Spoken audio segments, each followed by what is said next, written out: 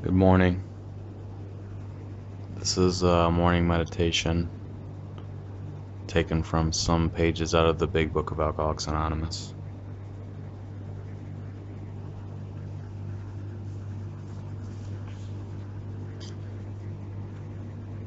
This is merely just to help those that may be still suffering or those that want to develop some sort of a a morning prayer life. So I'd encourage you to turn off your cell phone.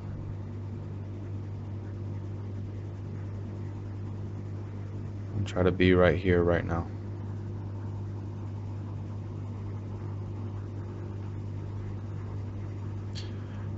On awakening, let's think about the 24 hours ahead. We consider our plans for the day. Before we begin, we ask God to direct our thinking, especially asking that it be divorced from self pity, dishonest, or self seeking motives. Under these conditions, we can employ our mental faculties, faculties with assurance. For after all, God gave us brains to use. Our thought life will be placed on a much higher plane when our thinking is cleared of wrong motives.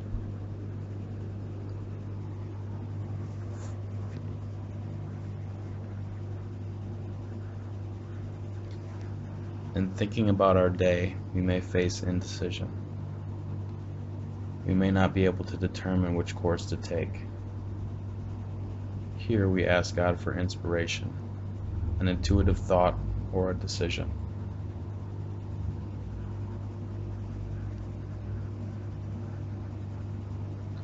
We relax and take it easy. We don't struggle. We are often surprised how the right answers come after we have tried this for a while.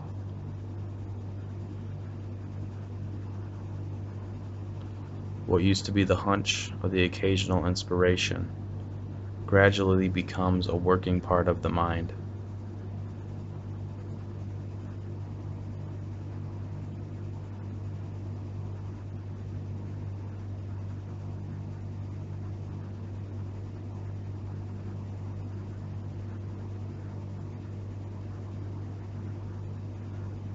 We find that our thinking will, as time passes, be more and more on the plane of inspiration. We will come to rely upon it.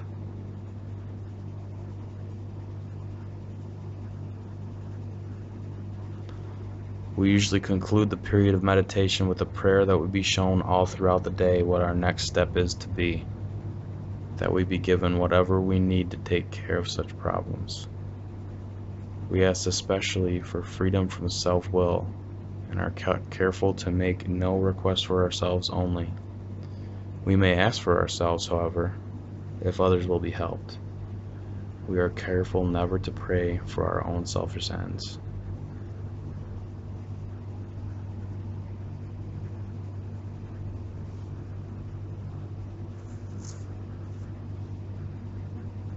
If circumstances warrant, we ask our wives or friends to join us in morning meditation.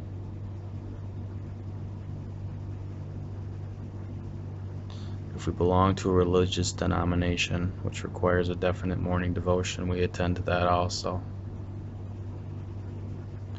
Be quick to see where religious people are right. Make use of what they offer.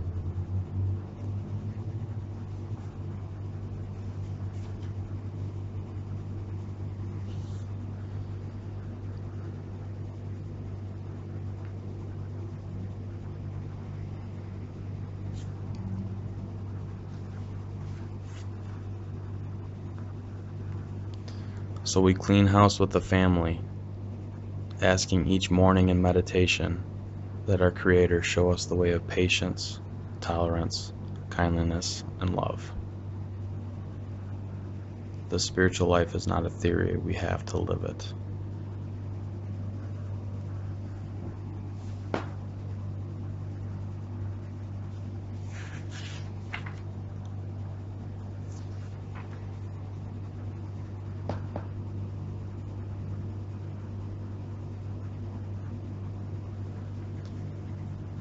If not members of religious bodies, we sometimes select and memorize a few set prayers which emphasize the principles we have been discussing.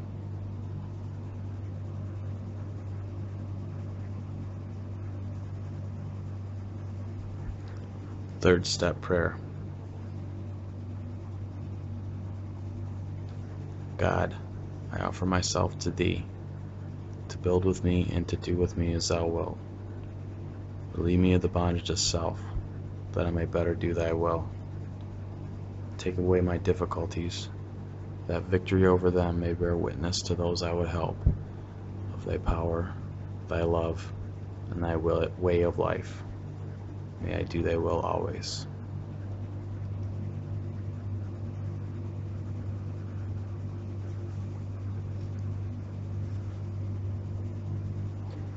Seventh step prayer. My Creator, I am now willing that you should have all of me, good and bad. I pray that you now remove from me every single defect of character which stands in the way of my usefulness to you and my fellows. Grant me strength as I go out from here to do your bidding. Amen.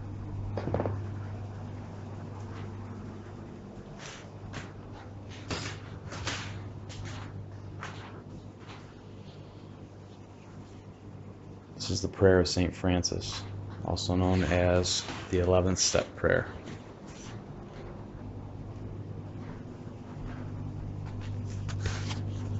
Lord, make me an instrument of your peace. Where there is hatred, let me sow love. Where there is injury, pardon. Where there is doubt, faith. Where there is despair, hope. Where there is darkness, light. And where there is sadness, let me sow joy. O divine Master, grant that I may not so much seek to be consoled as to console, to be understood as to understand, to be loved as to love for it is in giving that we receive, it is in pardoning that we are pardoned, and it is in dying that we are born to eternal life. Amen.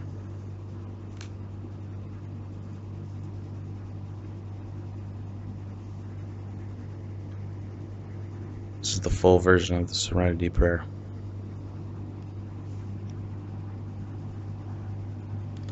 God, grant me the serenity to accept the things that I cannot change courage to change the things that I can, and wisdom to know the difference. Living one day at a time, enjoying one moment at a time, accepting hardship as the pathway to peace, taking as He did this sinful world as it is, not as I would have it, trusting that you will make all things right if I surrender to your will, that I may be reasonably happy in this life and supremely happy with Him forever in the next. Amen.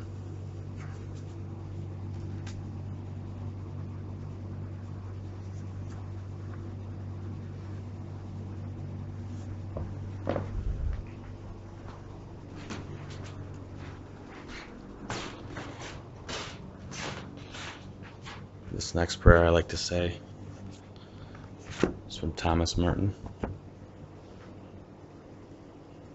My Lord God, I have no idea where I am going.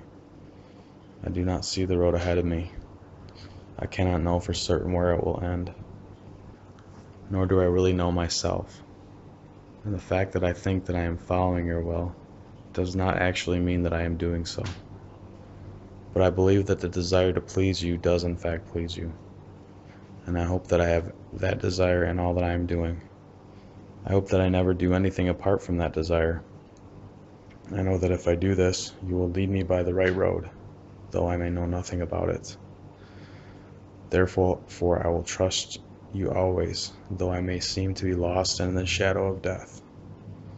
I do not fear, for you are ever with me, and you will never leave me to face my perils alone.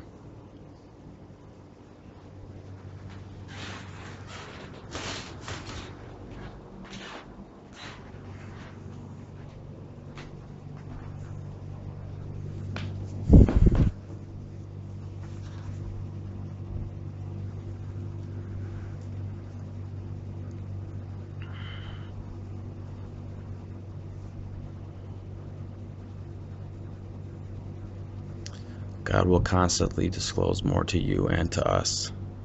Ask Him in your morning meditation what you can do each day for the man who is still sick. The answers will come if your own house is in order.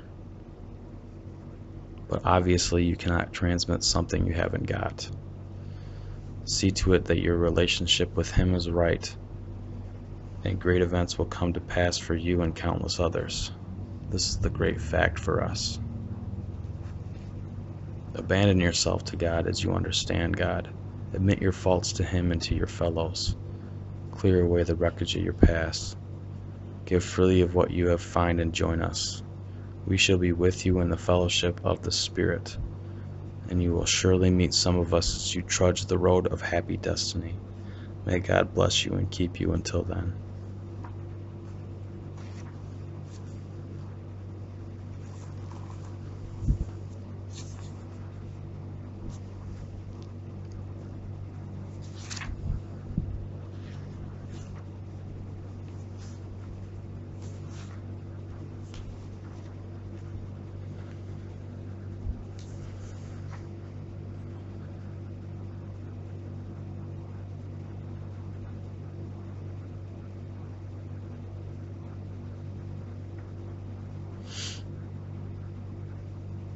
As we go throughout the day, we pause when agitated or doubtful and ask for the right thought or action. We constantly remind ourselves we are no longer running the show, humbly saying to ourselves many times each day, Thy will be done. We are then in much less danger of excitement, fear, anger, worry, self pity, or foolish decisions. We become much more efficient. We do not tire so easily, for we are not burning up energy foolishly as we did when we were trying to arrange the life to suit ourselves.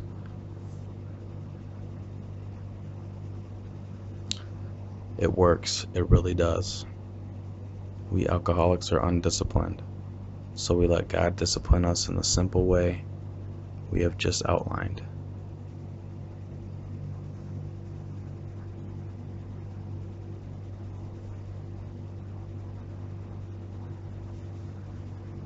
We shouldn't be shy in this matter of prayer. Better men than us are using it constantly.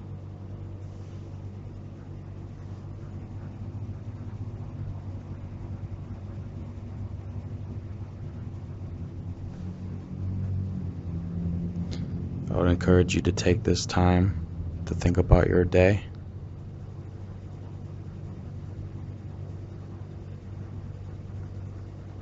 Thank you for joining me on this guided morning meditation.